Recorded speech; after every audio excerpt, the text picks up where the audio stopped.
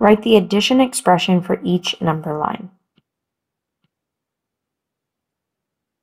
What it's looking for is the first one says negative 4, or sorry, the last one says negative 4 because it's going to the left 4 plus positive 2 because it moves to the right two spots. You do not need the answer, you are just writing the expression. If it wanted the answer as well, it would say the number sentence.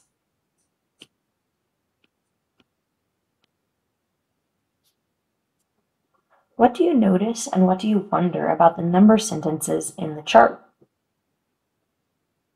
Come up with a hypothesis about how to find the values for the last two. And then maybe think about how you would solve a problem like 3 minus 20. In today's lesson and throughout this topic, we're going to explore how to evaluate any integer subtraction expression, such as 3 minus 20. What are some different ways that you can interpret the expression 10 minus 8? We could think of it as 10 take away 8, we could think of it as the difference between 10 and 8, or taking 8 from 10. How far apart are 10 and 8 on a number line? What number would you add to 8 to get to 10? How much is left when you take 8 away from 10? All of these will come out to 2. Do you think any of those strategies could work for any subtraction problem, even if it included negative numbers? If I had 10 of something, I could think of taking 8 of them away, and I'd be left with 2. But if I had 8 of something, could I still use that same thought process to take 10 away. Well, no, because there's not 10 to remove if all we started with was 8. So we might have to come up with some other interpretation for subtraction to be able to solve problems such as this. For problems 1 through 8, use the number line to find the distance between the two numbers in the subtraction expression and record your answer in the column labeled distance apart on the number line. Remember, distance is always a positive value.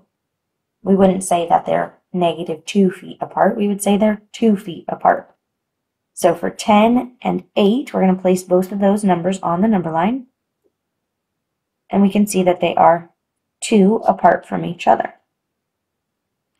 8 and 10 are also 2 apart.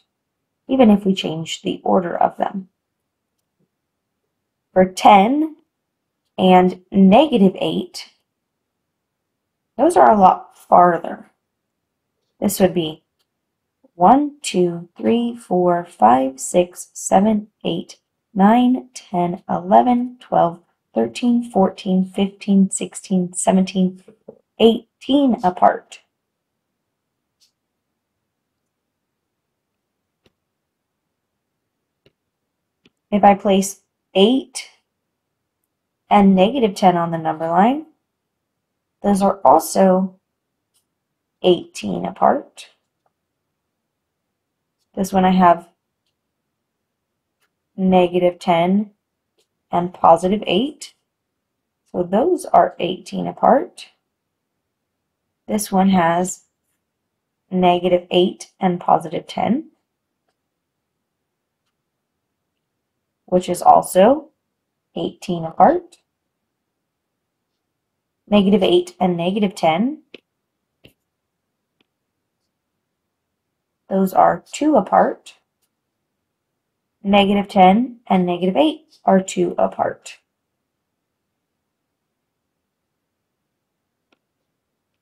Not a single one of these subtraction expressions is identical, but some of our distances are the same.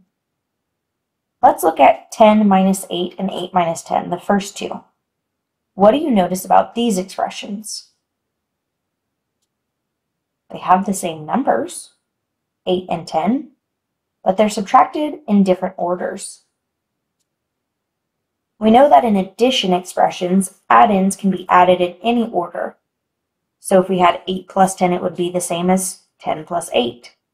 But can they be subtracted in any order? No, you can't subtract numbers in any order. We just saw that if you had 10 objects, you could take 8 away. But if you had 8 objects, you couldn't take 10 away.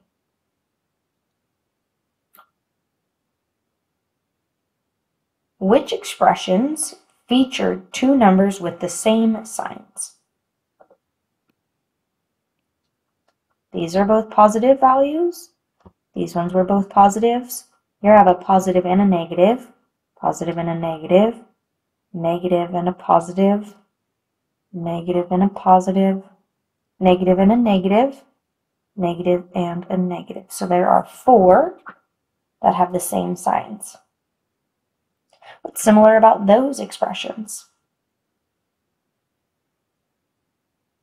Those ones are all two units apart on the number line. Negative 8 and negative 10 are 2 apart. And positive 8 and positive 10 are also 2 apart.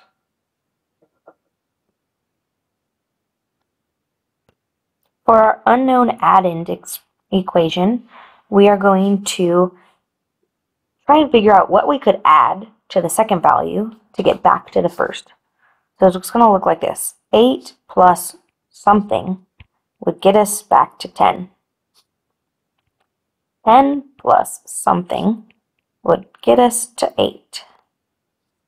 Negative 8 plus something would put us at 10. Negative 10 plus some amount would put us back at 8.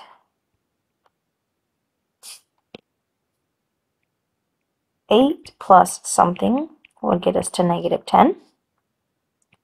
10 plus something would get us to negative 8. Negative 10 plus something would put us at negative 8. And negative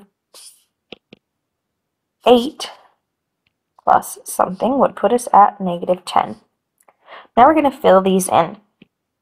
8 plus 2 is 10. 10 plus negative 2 is 8. Negative 8 plus 18 is 10. Negative 10 plus 18 is 8. 8 plus negative 18 would put us at negative 10. 10 plus negative 18 would put us at negative 8.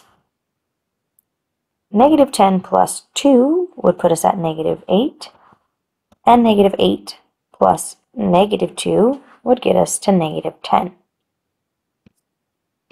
Here you can see for number 1, or that first row, 8 plus 2 is 10.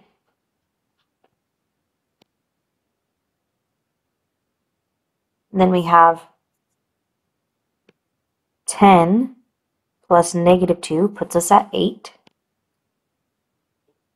Negative 8 plus 18 puts us back at 10.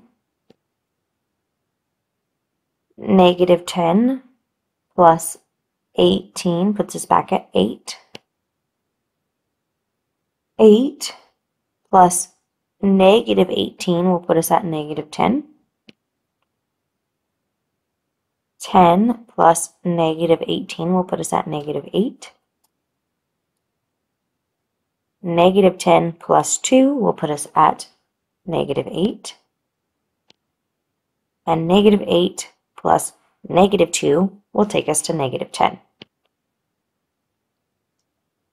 Mostly we're just filling in that table today using those number lines as a support to help us answer those questions.